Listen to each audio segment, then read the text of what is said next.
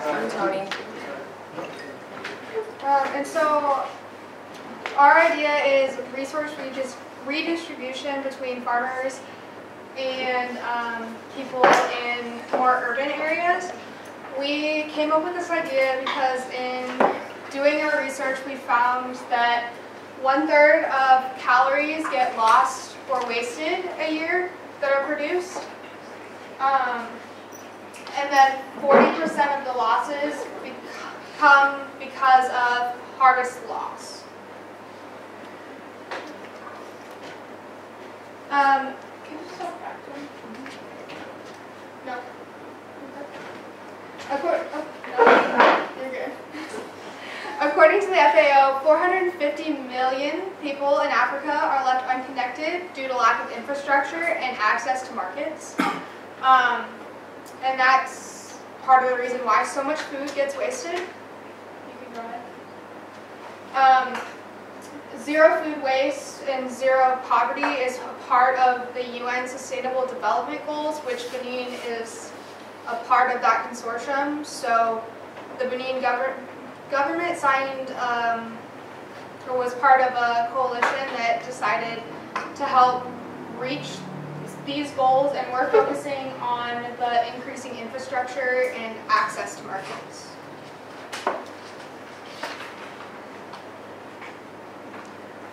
Okay. So our idea that we came up with was to create a, like a redistribution service.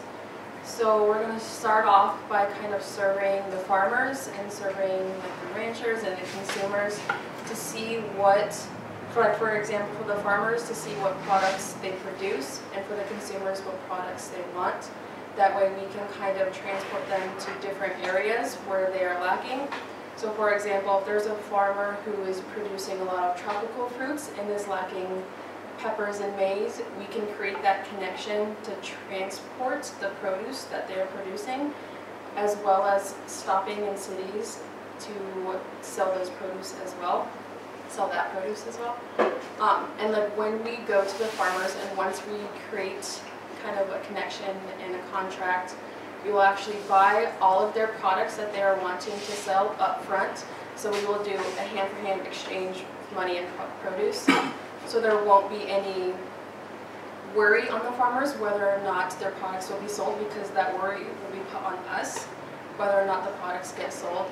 Um, we kind of want to do that because a lot of farmers um, don't have the technology or the resources to transport their produce to different areas. So by us extending our help, we are able to kind of widen their market to produce more sales for them.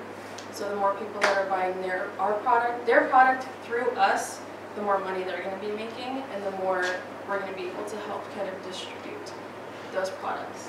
And with distributing them, we're going to be using food trucks.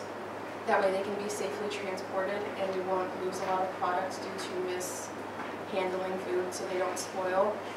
So we just want to sell, um, we just want to buy those products to kind of, like I said, widen the market for the farmers as well as giving you guys who don't have, you may not have a certain produce in your area that other farmers might sell.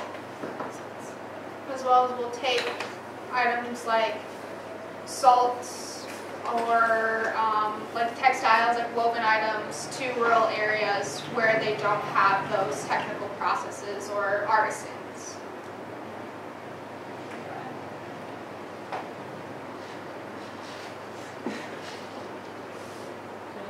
Yeah. Oh, yeah. Okay, so um, this also is kind of to eliminate the whole waste side of it. So let's say a farmer has too much of one product, but also other people also have a lot of that product too. It's kind of hard to sell that product at the markets because everyone else is also selling that same product. So it's kind of to help eliminate waste and kind of redistribute all of the um, resources to more areas that don't have that certain product. Um, but also with this, we're going to try to um, not bring the products to the specific places that they already have it. So we wouldn't be hurting anyone's markets or anything like that. We would say, for example, one place might have um, like oranges or something, and one place might have cashews or abundance of cashews, we would take those place those um, resources and distribute them to the places that don't have them. And if two places have both grow maize, we wouldn't bring bring maize to the other location, if that makes sense. Um, so to do this, we're going to work with grassroots organizations, research stations, universities around the area to kind of figure out um, what the infrastructure is like, what um, is needed, what's not needed, and also work with the farmers and consumers, as we said before. Um, this is going to help help the communication between the markets and the farmers. Um, also, we're going to try to get funding from the United Nations, USAID, and development agencies to kind of get us to be able to sell the products at a higher, or uh, sell the products for profit, but also uh, buy the products from the uh, from the farmers.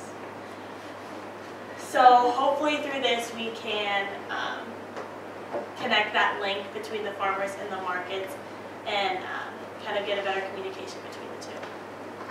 Yeah, so like with the surveying that I brought up earlier, we, we want to be on the ground, face to face, talking to the farmers and talking to the consumers, instead of just assuming that you guys need this product when in reality you need the other one.